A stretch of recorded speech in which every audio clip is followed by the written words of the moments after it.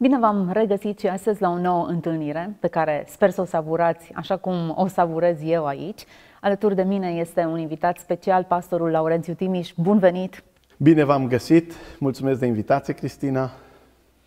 Avem uh, un pastor care are o experiență vastă.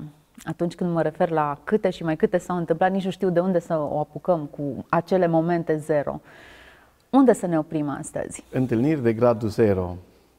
Când privesc în urmă, uh, văd etape în viață, etape care au avut întâlniri de gradul zero. Și dacă ar fi să derulez puțin timpul, m-aș întoarce în urmă cu 20 de ani, în anul 1993, în uh, acel an când m-am întâlnit cu Domnul Isus Hristos.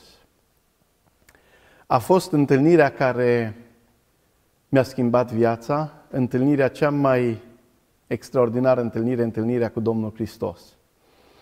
Noi am fost nouă frați în familie, șapte mai suntem în viață, crescut într-o familie de ortodoxi, conjuncturile vieții au făcut ca să ajung prin diferite locuri, însă în toate pot să văd mâna lui Dumnezeu care a fost peste noi, peste neamul nostru și peste viața mea. Și îmi vin în minte cuvintele psalmistului din Psalmul 124 cu versetul 1, dacă n-ar fi fost Domnul de partea noastră. Și mă gândesc dacă n-ar fi fost Domnul de partea mea și dacă nu m-aș fi întâlnit cu Domnul, era acea zi de februarie, am ajuns în Timișoara printr-un complex de împrejurări. Eu am fost uh, o fire rebelă.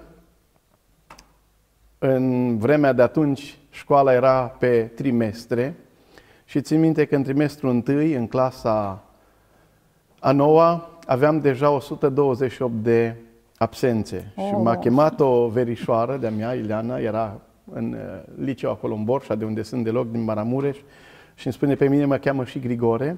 Cei de acasă îmi spuneau și îmi spun Grigore și îmi spune, vezi că ea era director adjunct, vezi că ai 128 de absențe.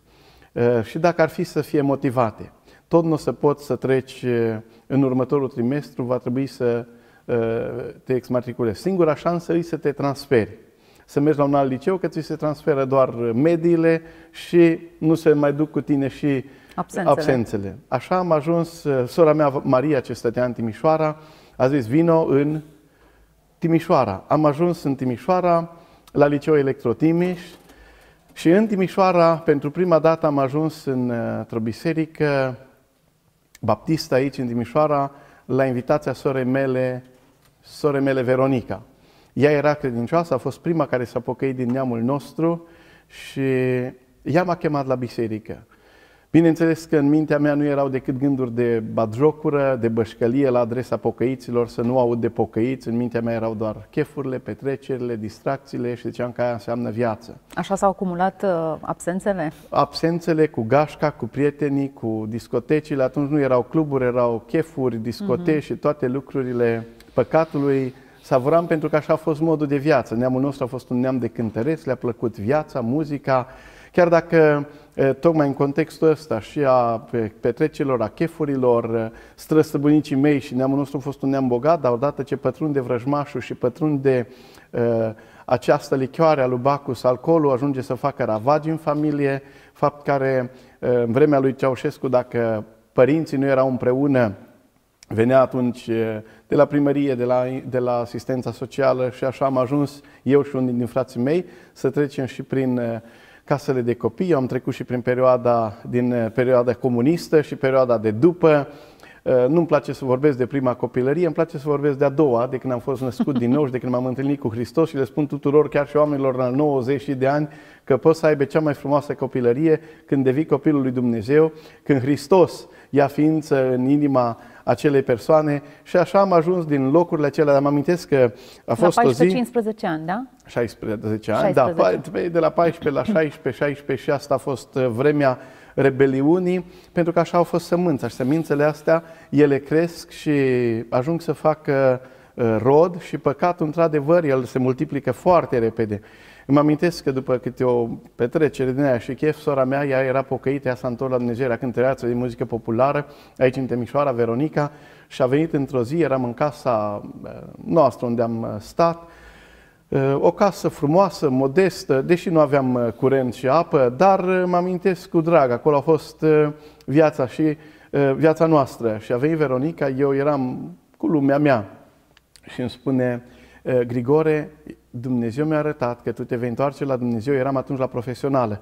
Deci tu vei merge la liceu și te vei întâlni cu Hristos și Dumnezeu îți va mântui viața și vei fi o, o, o, un vas al lui Dumnezeu pentru mulți care să se întoarcă la Hristos. Și eu, bineînțeles, că am luat-o în bășcăle și am zis, du-te mă cu sectanții tăi și cu pocăiță, ți-o spăla pe creier și nu mai știi tu ce. Zic, hai vină cu mine la niște chefuri.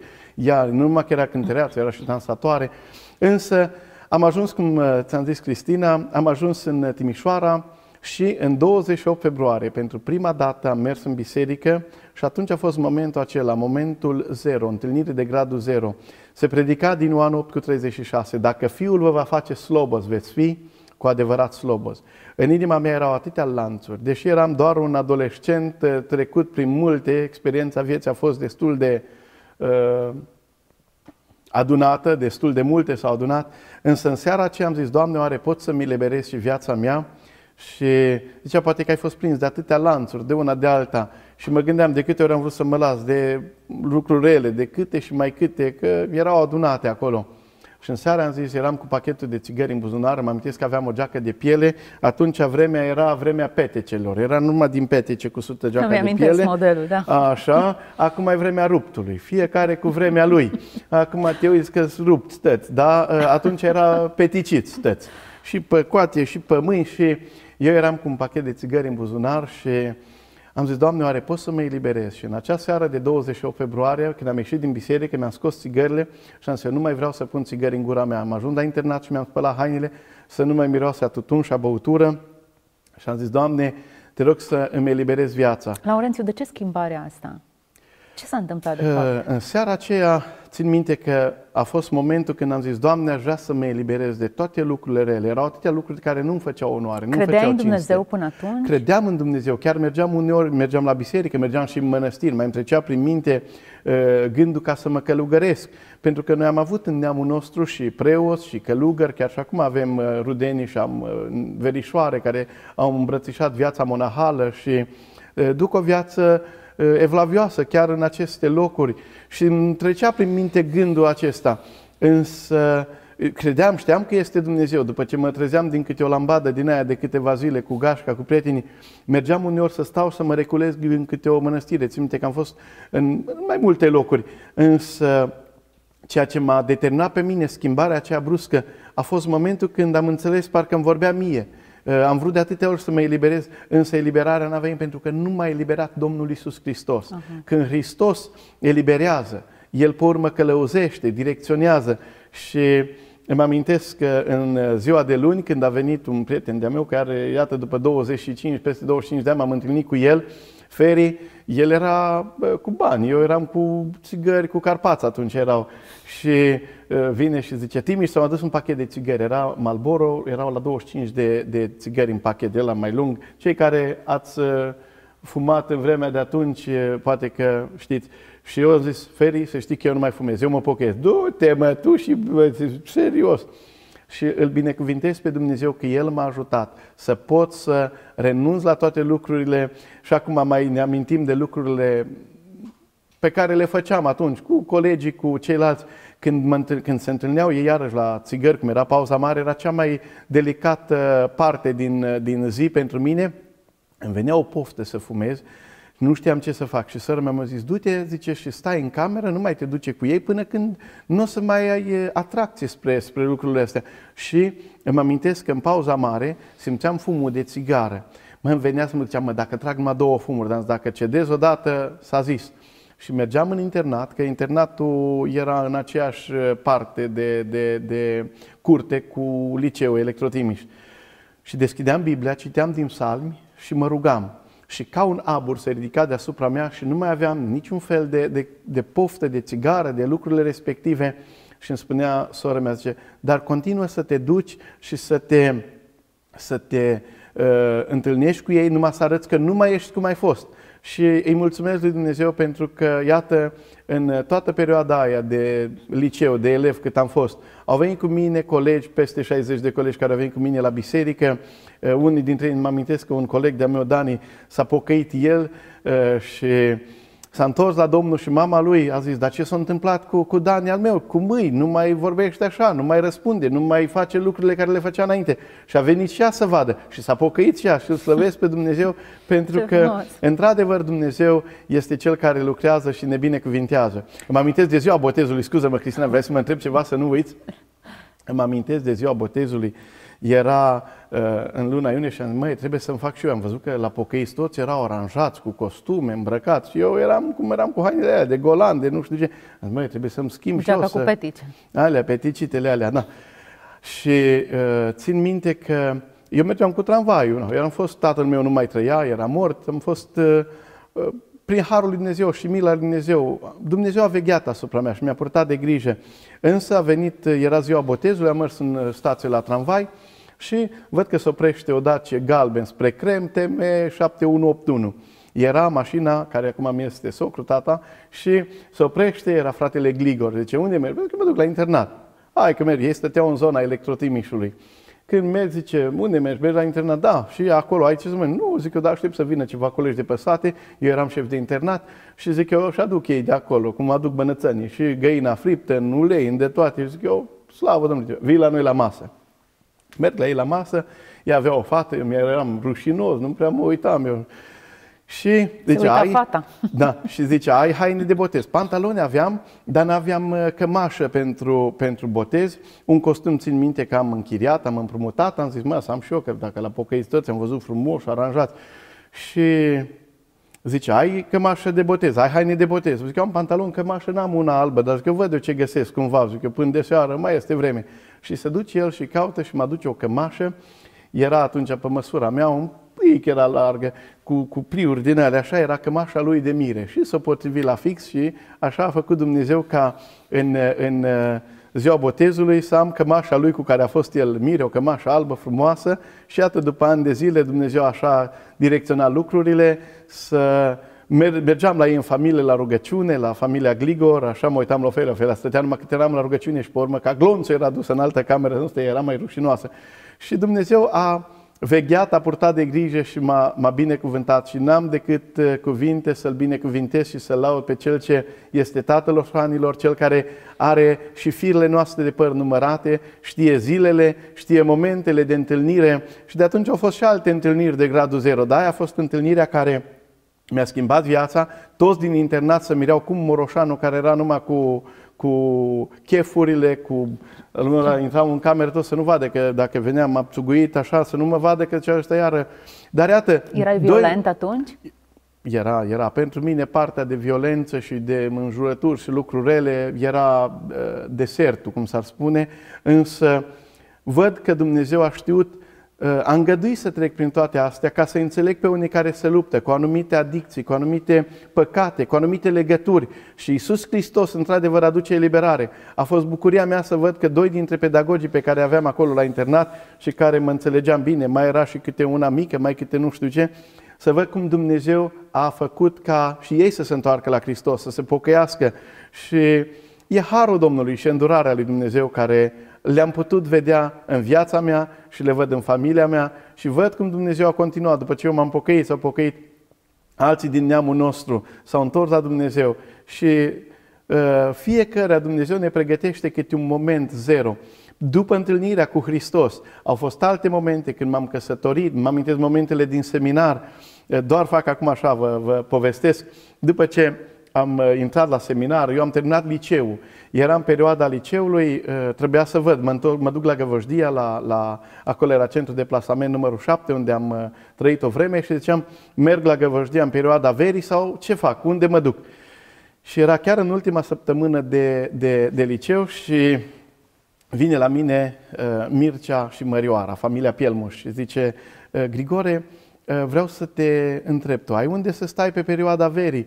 La ei mă chemau mai la masă, eram așa, într-un fel, copilul bisericii și aveau grijă de mine și erau atâtea surori și frați oameni deosebiți, familia Râncu, fratele Râncu, el tot a, a avut grijă și unul dintre oamenii care mă amintesc mi-a luat primul costum a fost fratele Nelu Dragomir, fratele Ioan Dragomir, diaconul bisericii. Sunt lucruri care au rămas așezate în mintea mea. Și vine această familie și zice, ai unde să stai? Eu mă tot rugam, dar am zis, Doamne, tu un porți de grijă, cum am stat uneori în fuga din acele case ale groazei și păstrăjăm, zic eu, Dumnezeu m-a ajutat, dacă acum îl cunosc pe el, nu mă lasă Dumnezeu. Sora mea zicea, vino, unde stătea ea, zice, mai găsim, mai cumva, le aranjăm.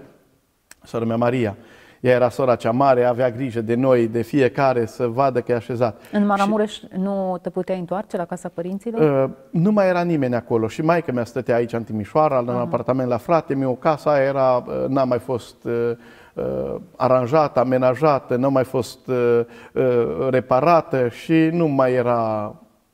Am înțeles. Da. Și atunci uh, zice, uite, zic eu, n-am unde, dar o să văd unde a purtat Dumnezeu de grijă. Și îmi spune, zice, avem un apartament pe care nu l-am închiriat și poți să vii să stai în el. Când am mers, n-am stat în așa apartament niciodată, frumos, aranjat, am stat toată vara, învățam de dimineața până seara, dar oră, câte 50 de minute, ca la școală. 50 de minute luam o pauză la prânz, mă amintesc că Mărioara o trimitea pe Alina, acum și ai măritat, are copii și o trimitea cu mâncare să am eu în, în, în, acolo în apartament în perioada când mă pregăteam pentru admitere la institut. Și am ajuns la seminar, am intrat la institut, asta s-a întâmplat în anul, în anul 96, și bucuria mea a fost că, după ce am intrat la seminar, fratele Talpoș și fratele Gliga mă cheamă la ei în birou. Sectorul meu la institut, la seminar, erau uh, birourile și să le cură, să le aranjez, să le șterg, să fie frumoase. Și mie mi-a plăcut. Și uh, fratele Talpoș spune, uite, uh, Laurențiu, uh, ție uh, Casa ai copii îți plătește cazarea și masa. Așa era legea și într-adevăr am beneficiat. Și mai, dar uite ce, fratele Gliga a vorbit cu fratele Talpoș, fratele Talpoș era, era rectorul institutului și a zis, mai trebuie să-i punem banii la copilul ăsta cumva într-un cont.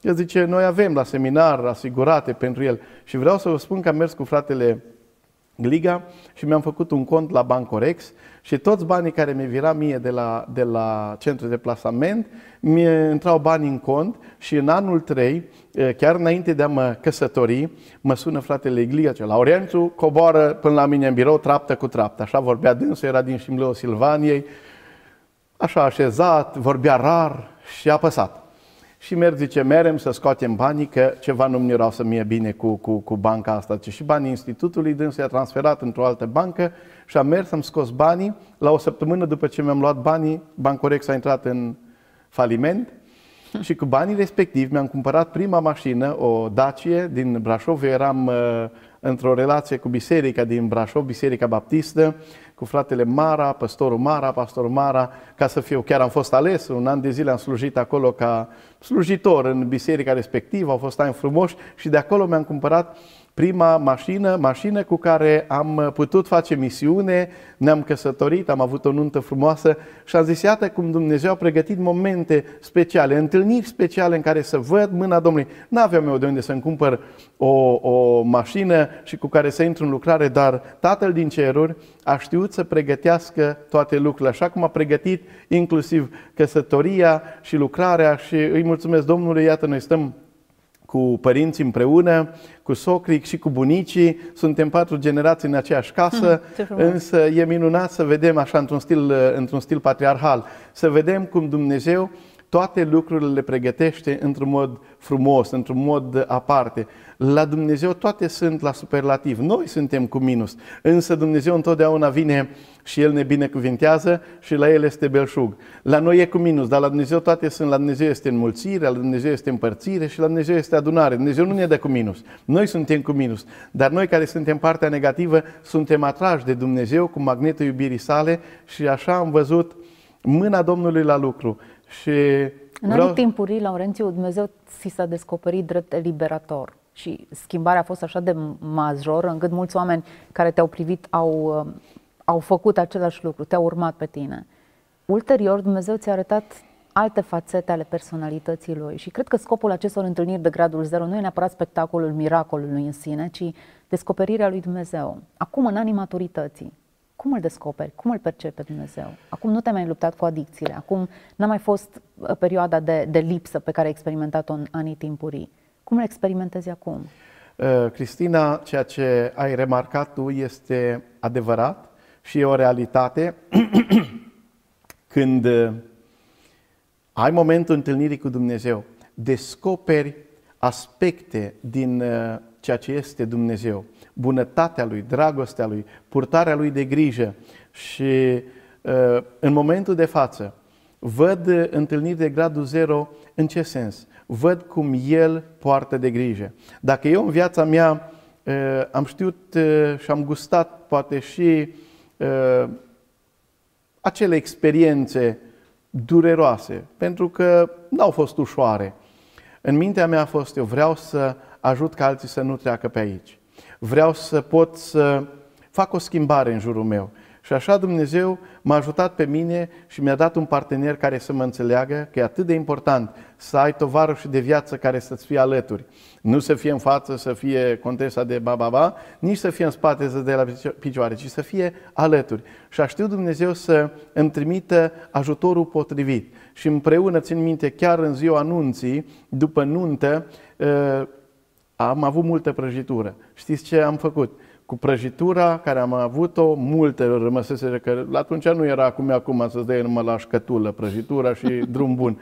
Am făcut o săptămână întreagă prăjituri pentru nunta noastră și am mers la Găvojdia.